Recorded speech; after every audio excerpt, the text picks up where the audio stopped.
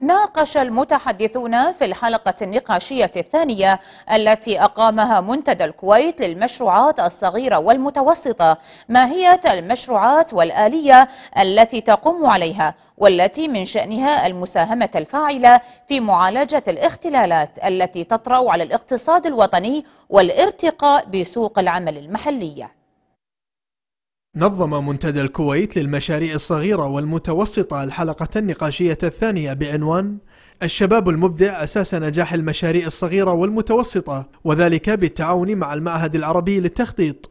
وأجمع المتحدثون على أهمية دور المشروعات الصغيرة والمتوسطة في تعزيز دور القطاع الخاص ومعالجة الاختلالات التي تطرأ على الاقتصادات الوطنية. في حين أشاروا إلى وجود عوائق تعترض طريقة توظيف المواطنين في القطاعات الحكومية وهو ما قد يساهم في زيادة معدلات البطالة المقنعة. كانت مبادرة حضرة صاحب السمو أمير البلاد في القمة القمة الاقتصادية اللي عقدت في الكويت القمة العربية الاقتصادية الكويت. كانت آه، تعبير آه، كبير وهام من القيادة السياسية لاهتمامها بالشباب واهتمامها بدعم المشروعات الصغيرة. تعتبر آلية آه، مهمة في آه، الإصلاح وفي تعزيز دور القطاع الخاص وفي خلق آه، فرص آه، عمل. ويأتي قانون المشروعات الصغيرة الذي أقره المجلس المبطل ليحدث نقلة نوعية في ماهية المشروعات التي تحاكي بيئة العمل في البلاد. إصدار قانون المشروعات الصغيرة في دولة الكويت بما له وما عليه. يأخذ المشروعات الصغيرة في البلد إلى خطوة متقدمة وينظم